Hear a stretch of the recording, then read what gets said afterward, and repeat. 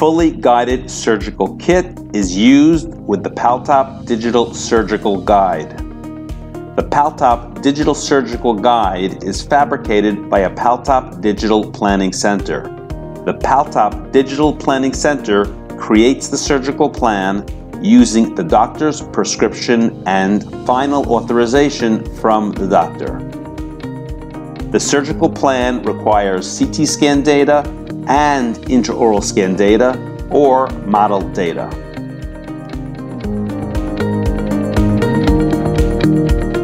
This is the protocol for a surgery with the Paltop fully guided surgical system.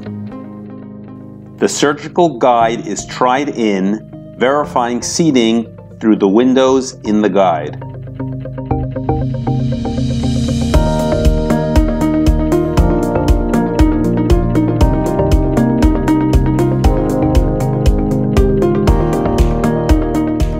A crestal incision is made, preserving keratinized tissue.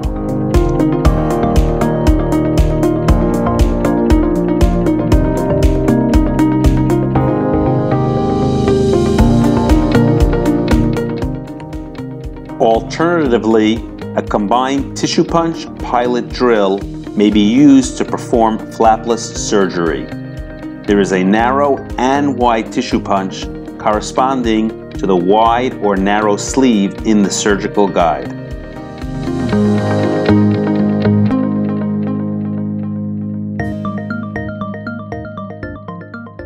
A minimal full thickness reflection is done.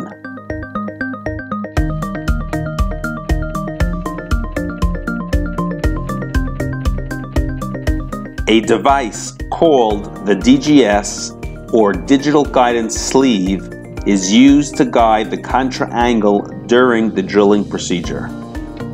The DGS is inserted into the specially designed contra angle. There is a narrow and wide DGS to choose from. The wide DGS is used for the wide sleeve in the guide and the narrow DGS for the narrow sleeve.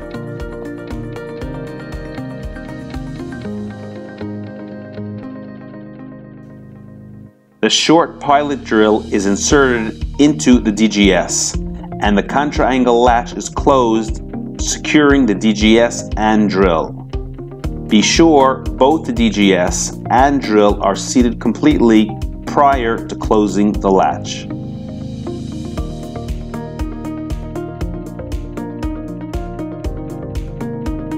Position the DGS into the correct implant number sleeve and drill until the DGS bottoms out on the drill guide. The DGS must enter the drill guide sleeve before the drill tip touches bone.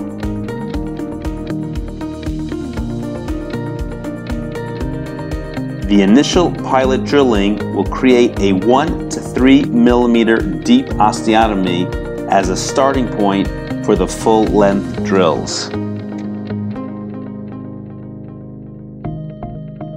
Drill length is indicated on the drilling report. It will be 20, 25, or 30 millimeters. 20 millimeter drills are indicated by a brown band on the drill shank. 25 millimeters are indicated by a purple band, and 30 millimeters are indicated by a silver band. The next drill in the sequence is the 2.0 slash 2.4 millimeter step drill. This is the first drill that drills to the final depth. To make drilling easier, you can elect to start with a shorter drill and then advance to the final indicated drill length. For example, the drilling report may say that the drilling length is 25 millimeters, which is a purple banded drill, but you can start with a 20 millimeter brown banded drill, then deepen the osteotomy using the 25 millimeter purple banded drill.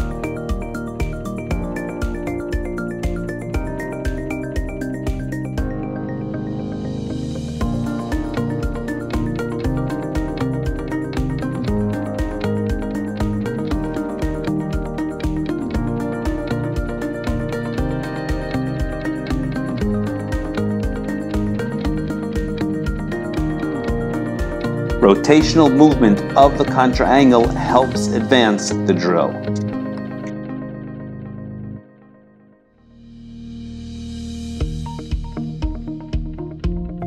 The drilling sequence is now completed by choosing the next diameter shaped drill, which is the 3.25 millimeter drill, using the same color series.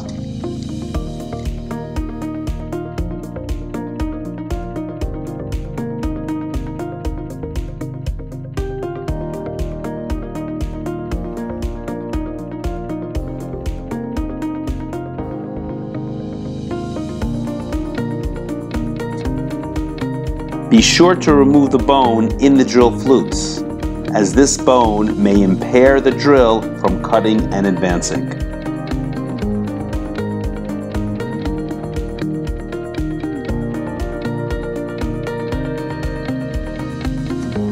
After completing the 3.25 millimeter diameter osteotomy, the next drill used is the 3.75 millimeter drill in the same color series.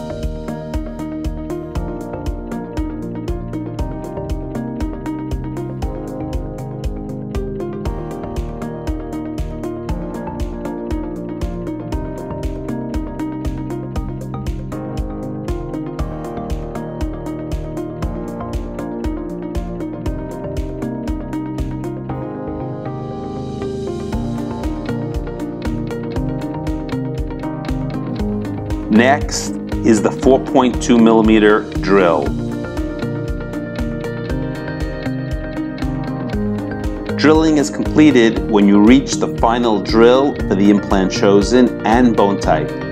In this case, a 4.2 millimeter advanced plus implant is being used and therefore the 4.2 millimeter diameter drill is the final shape drill to be used.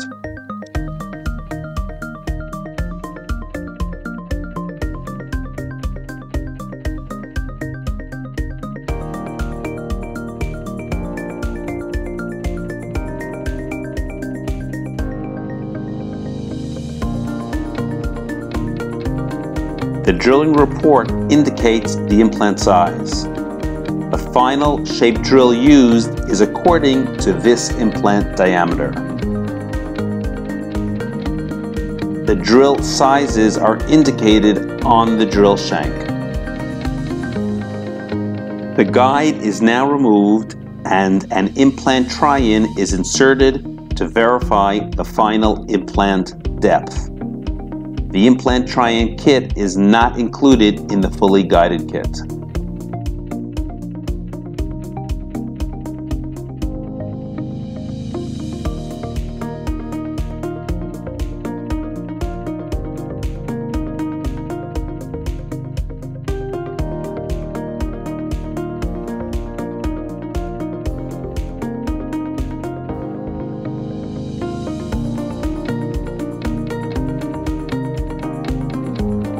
When a 5 millimeter diameter drill is to be used, for example, for a 5 millimeter implant, it is used directly in the contra angle and sleeve without the DGS. A countersink is used only if there's very dense cortical bone. Proper countersinking depth is determined by looking at the offset number on the drilling report. The countersink has numbers from 4 to 16. Although the numbers will not be visible while the countersink is spinning, the depth can be controlled by counting the appropriate number of broad black bands to the offset number. The guide is now reinserted and the countersink that corresponds the 4.2 millimeter diameter implant, red, is inserted without the DGS into the drill guide sleeve. The countersink should only be used when there is dense cortical bone, and then very judiciously. Even in dense bone, consideration should be given to only lightly touching the bone.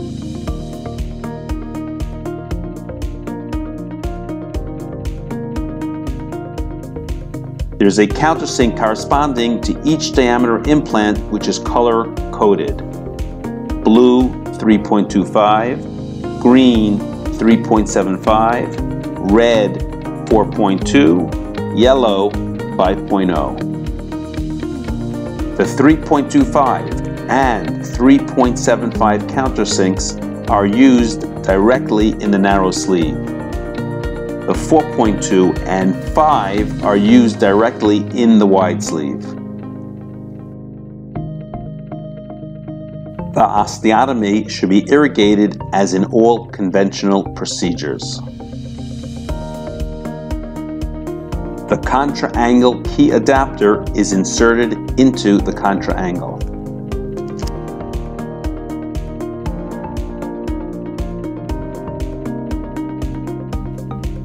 The implant key is chosen and inserted into the contra-angle key adapter.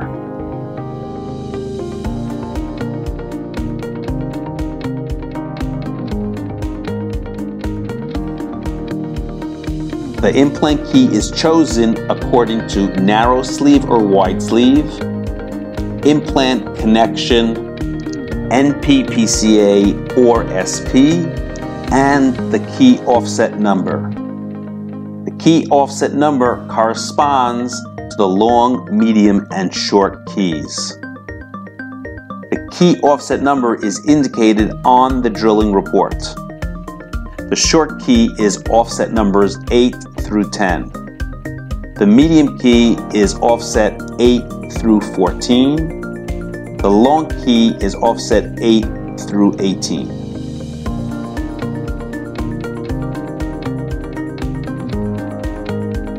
The implant key is seated completely into the implant. The implant is securely removed from the vial. The implant is seated into the osteotomy through the drill guide sleeve. The implant motor is set to 15 RPM and 30 Newton centimeter torque, set as a minimal insertion torque.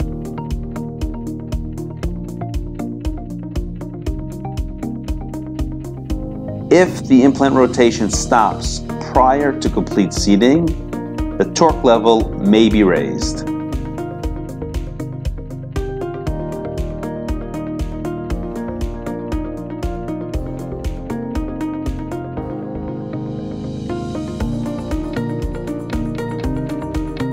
The offset number shown on the drilling report is indicated on the implant key by the line in the middle of the number. The flat side of the implant key corresponds to the flat of the hex of the implant connection. The vertical lines on the top of the implant key correspond to the middle of the flat of the implant hex. The final seating of the implant may be done with the torque ratchet on the implant key.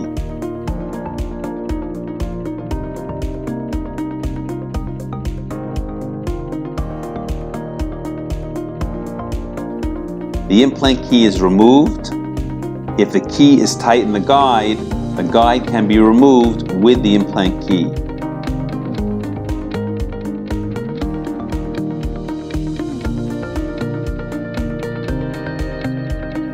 An ISQ measurement of 80 demonstrates excellent implant stability.